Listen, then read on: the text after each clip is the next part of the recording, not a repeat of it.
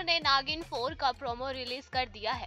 बता दें कि प्रोमो में विजेंद्र कुमारिया निया शर्मा और जसमीन भसीन नज़र आ रहे हैं और साथ ही ये प्रोमो अब सोशल मीडिया पर आग की तरह फैलता जा रहा है। अब जहाँ एक तरफ़ आम पब्लिक इसे देखकर अलग अलग तरह से रिएक्ट कर रही है तो वहीं नागिन सीज़न की पुरानी नागिनों ने भी अपना पहला पहला रिएक्शन दे दिया है। तो आज हम अपनी इस खास रिपोर्ट में बात करने वाले हैं उन सभी नागिनों के रिएक्शन के बारे में।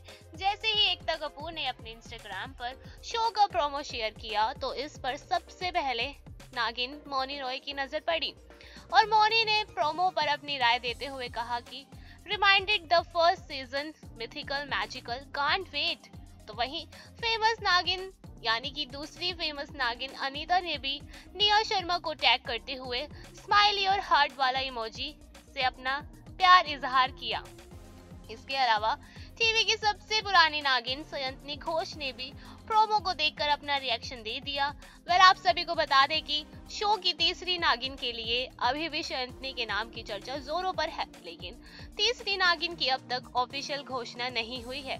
खैर, अब आपको ये बताते हैं कि सयंतनी ने क्या लिखा। सयंतनी लिखती है कि सुपर वेल प्रोमो को देखने के बाद नागिन के फैंस जो काफ़ी दिनों से बेकरार थे बेसब्री से प्रोमो का इंतज़ार कर रहे थे। वे सारे फैंस काफ़ी खुश और एक्साइटेड हैं।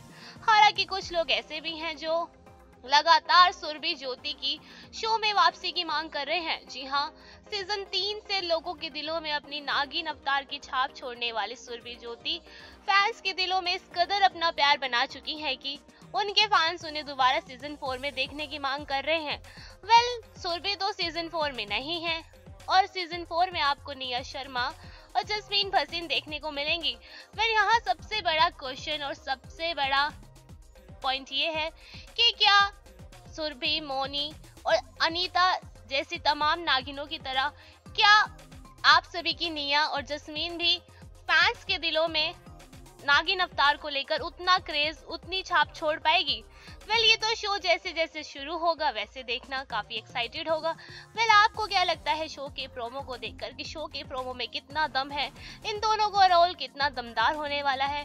सुपर नेचुरल ड्रामा करती ये दोनों हसीनाएँ कितनी ही अच्छी लगेंगी? कमेंट सेशन में लिखकर ज़रूर बताइए। Next two nine live desk के लिए इंदु की रिपोर्ट